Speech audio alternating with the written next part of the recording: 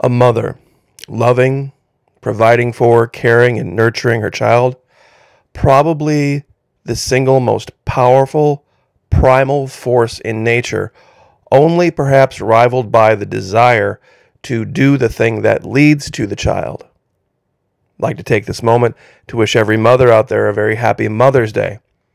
I think this is an important fact to recognize given the state this country is in and what we're facing, because it's going to have directly to do with how things shake out in the next 10 to 20 years. I found these images, I thought they were appropriate to share today. From a mother to my children, if I had to choose between loving you and breathing, I would use my last breath to tell you I love you. I may seem quiet and reserved, but if you mess with my children, I will break out a level of crazy that will make your nightmares seem like a happy place. Guys, I think we can all unanimously, unanimously say that this is the case.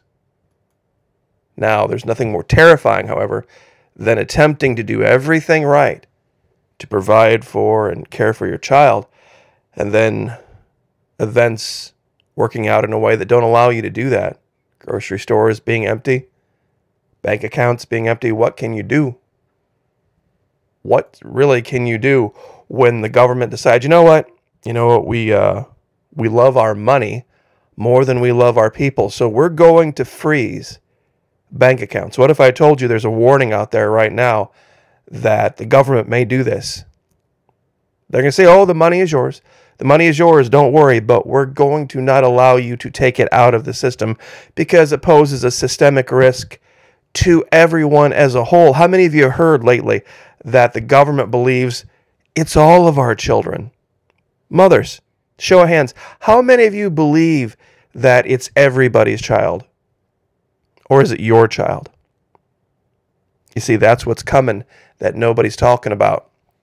But real quick, just wanted to give everybody notice. Brand new video posted only a couple of hours ago over the Florida Maquis Patreon channel.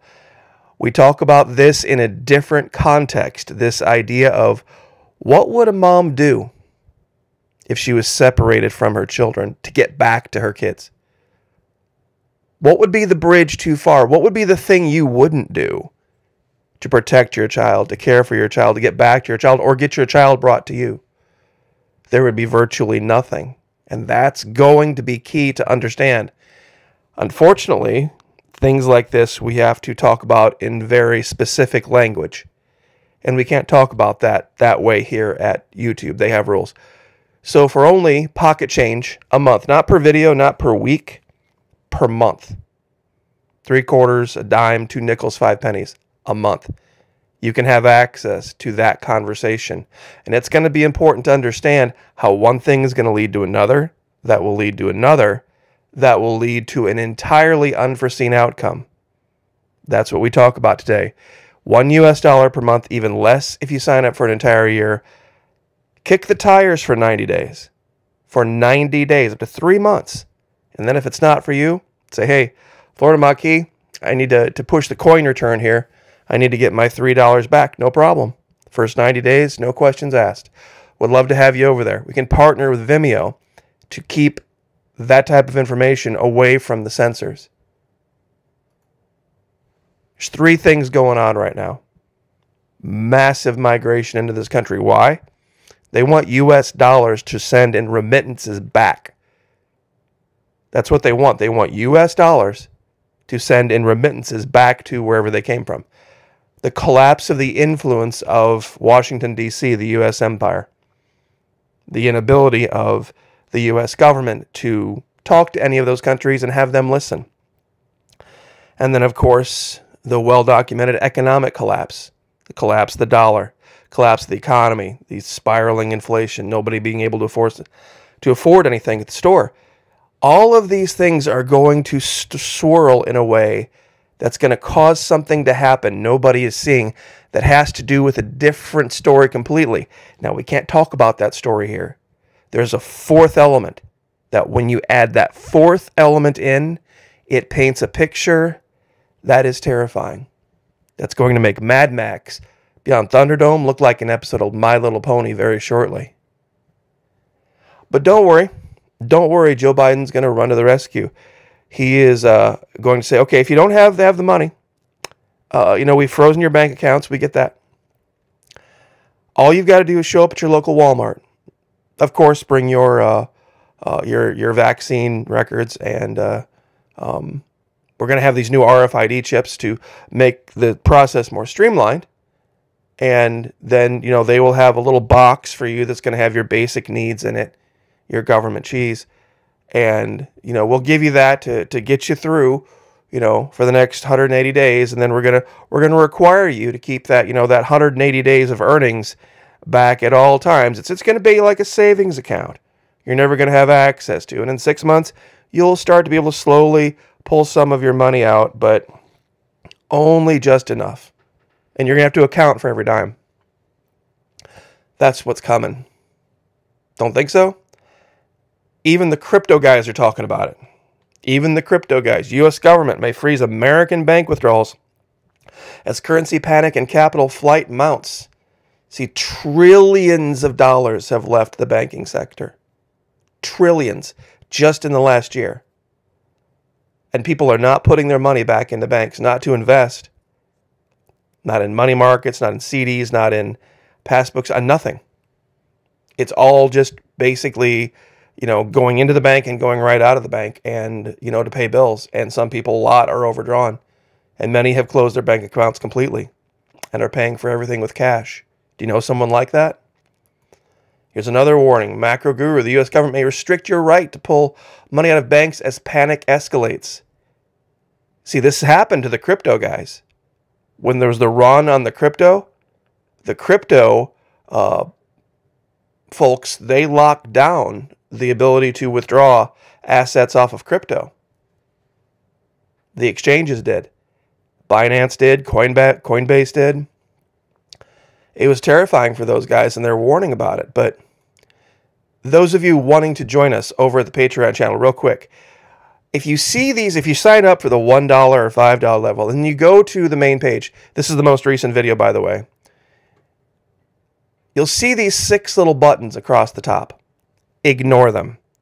Ignore them totally. Way back a long time ago, there used to be all those levels. And before I had a chance to take down all of the different levels, Patreon deprecated the tool that you would need to post them or retract them. And so the buttons are still there. They just all take you back to the one or five dollar level. There are no $50 a month level videos. There's no $20 a month level videos. None of this exists. None of this exists. It's just something from a bygone era that I just cannot get rid of. So, but truly, this is the case. This is what, in only a matter of years, North America may look like.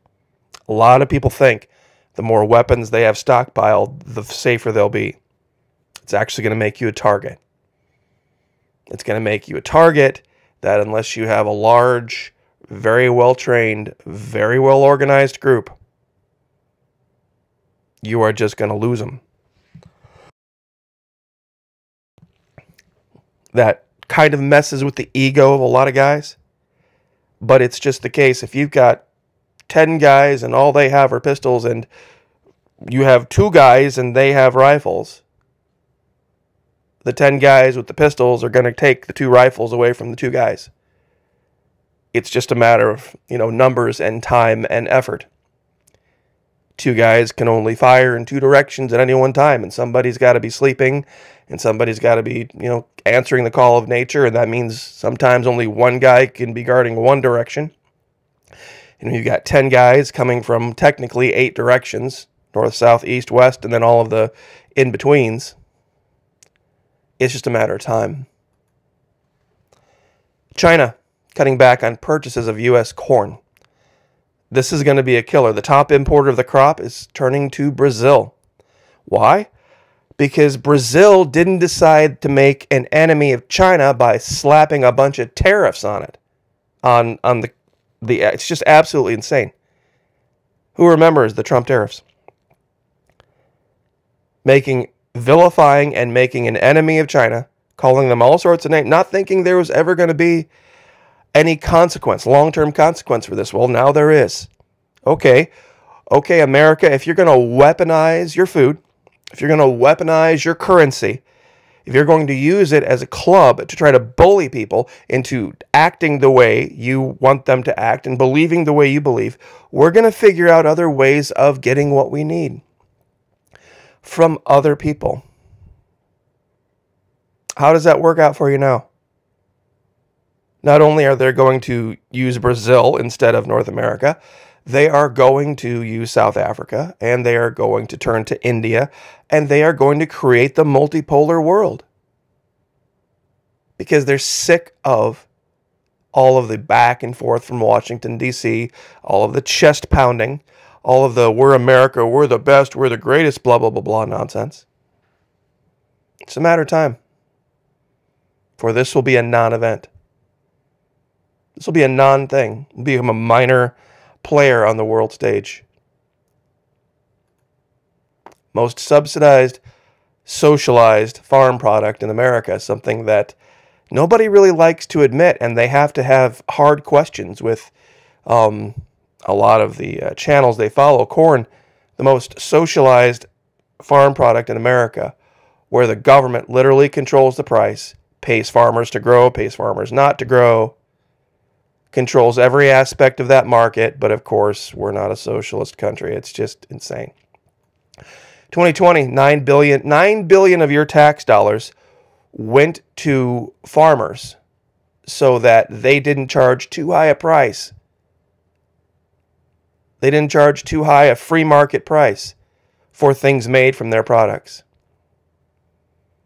Half corn is fed to livestock 39% for ethanol. It's just starving people, and we're taking corn and turning it into gasoline or some form of it. It's just absolutely insane. So, anyway, when you see empty shelves and there there's not food, not baby food, things you can't feed your kids, not cereals, just remember the US government pays farmers to take food and turn it into something that can be put in gas tanks instead of feeding people. If that doesn't scare moms out there, I don't know what, what would. I don't mean to on Mother's Day, but it's just the reality. I've counseled make plans and then make plans for those plans because things are not going to get any easier. And I would be doing a disservice to the mothers out there to try to paint this rosy, happy, sweet picture and not tell the truth. It's what moms always want. Ask any mom, what do you want? I don't want anything. I just want whoever I'm with, whether it's a partner or a husband or whomever, even my children. I want them to tell me the truth. I want to know what the truth is so that I can deal with the reality as it comes, even if it's not, you know, flowery and wonderful. So you owe it to them. You definitely owe your mom the truth. Don't lie to your mom. Join us over the Patreon channel. We can take the gloves off, tell a different level of truth. A level of truth sometimes people are a little shaky about. They don't like hearing about it, but trust me, this is going to be a message you're going to want to hear. If you pay for a year at a time, see those three quarters, dime, two nickels, and five pennies? You can erase that dime every month. Only comes out to 90 cents a month if you pay for an entire year up front. So, once again, God bless. Happy Sunday. Happy Mother's Day. Like, share, subscribe. We'll see you guys next time.